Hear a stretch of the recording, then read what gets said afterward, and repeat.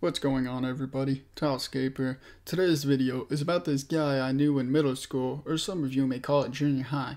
This guy didn't seem like a bad guy, he was just this new kid at school, but when he broke up with my friend, this guy showed his true colors. I was in middle school at the time when there was this new kid in school. He was this tall, probably about six foot, skinny blonde kid, and he seemed like a cool guy. One of my friends was attracted to him and they started dating soon after they met. Halfway through the relationship was around the time that I realized that this kid was weird and I just quit hanging out with him. When him and my friend broke up, I didn't see it as a big deal. That was their business. That day, I was in the bathroom when he walked in.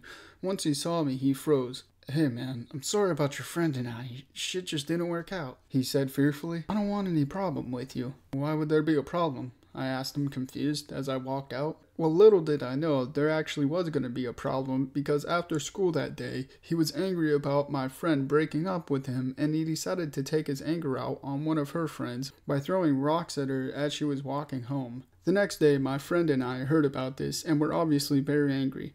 The city I lived in was very involved. Most people knew each other, especially someone who went to school in the city, because most people went through the same school together until they graduated, which was the case with this girl. My friend and I were so angry that we gathered about four people who were just as angry as us, and we all decided that we were going to jump him. We planned this for a week, which was our first mistake. If you're going to jump somebody, just do it. Don't wait. By that time, most people knew we were going to do this. The day came when all six of us were going to jump him. I was waiting in line for lunch when the kid who we planned to jump came up to me. Hey man, you didn't happen to hear anything about me getting jumped, did you? He asked me nervously. No, I told him as I smiled. After school, it was time to jump this kid. Everyone who planned to jump him met up at the same spot and we all waited for him to come out of school. When he did so, we started walking towards him. He noticed us and quickly ran towards a teacher. We split up and decided on another day. The next day at school, I heard that the five of the guys who planned to jump this kid with me were being sent to the principal's office. The kid told on everybody, except for me. I felt guilty and quickly went down to the principal's office to explain that I was the one who orchestrated everything. When I did so, my friend told the principal that it was both of us, and the principal let the other four guys go back to class. When we explained to the principal that this guy assaulted a female student and that we took that very personally,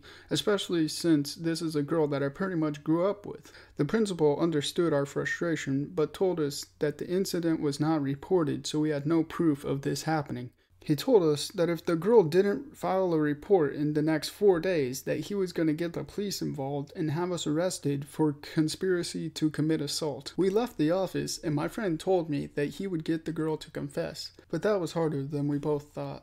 Even after explaining to her that we might get arrested, she refused to file a report because of how embarrassed she was. The next day, I tried explaining to her that we really need her to tell the truth about this guy so that this guy can be punished for what he did, but she still didn't budge. By the third day, we were pretty much begging her to fill out the report, and she finally decided to do so. The girl filed a report, and faced with the evidence, the kid admitted everything. His punishment?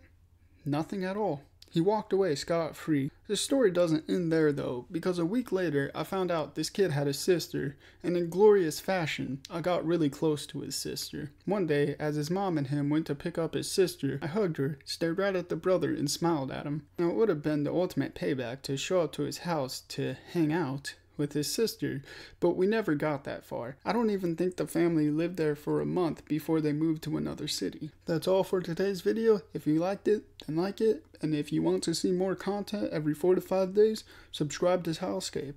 Until next time.